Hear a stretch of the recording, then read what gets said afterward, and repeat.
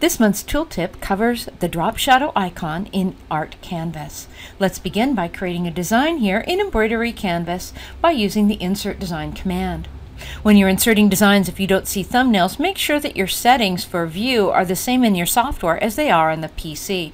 Select large icons or thumbnails for each to be able to preview a thumbnail of your design to insert. Once it's been created, create a graphic through the Save Design as Image command under File. We'll create a PNG file and make sure that you have a check for transparent background. You can then delete your original embroidery and tab to Art Canvas. Use the Load Picture icon to insert your graphic through the Import command and enter on the keyboard to set and center that design. We can now move, resize and rotate the design and if we would like to add a drop shadow for a 3D effect, select the drop shadow icon.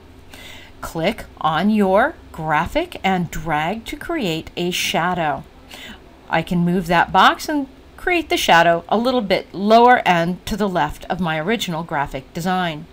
I would move the slider bar to adjust the opacity of the shadow and I can also adjust the depth of the shadow through the arrow, adjusting the size of the arrow. Your hints menu will give you all of these tips and tricks.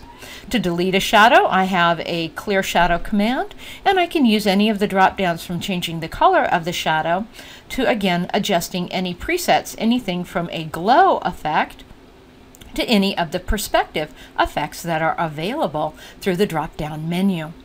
If I'd like to see how this will print, I can go to File and Print and preview this effect in my publication.